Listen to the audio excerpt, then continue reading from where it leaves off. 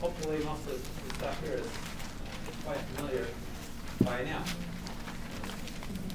Cerebral peduncle.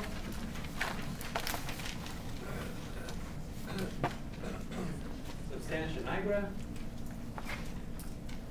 Okay, it's a nucleus, mixed dopamine, so it's white. And the red nucleus here. And the nerve fibers we see coming through here in the interpeduncular fossa is the third nerve. Okay, so the most medial part of the third nerve right here is the Edinger-Westphal nucleus. Remember, that's the parasympathetic contribution to the third nerve. So it constricts the pupil.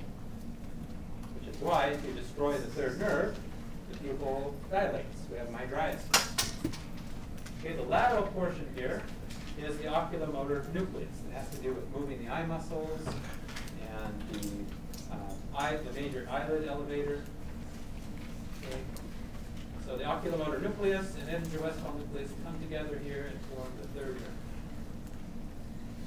So remember we said any brainstem lesion would get these crossed findings. So if we were just to have a destructive lesion right here, if we destroy this cerebral peduncle, weakness is going to be on the opposite side, right? Because the pathway crosses down the medulla.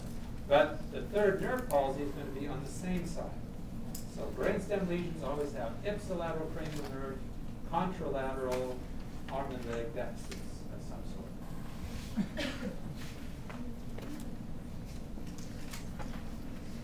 Okay, so this is the superior colliculus right here. It doesn't show up very well, but here's the pineal gland, which sits right on top of the superior colliculus.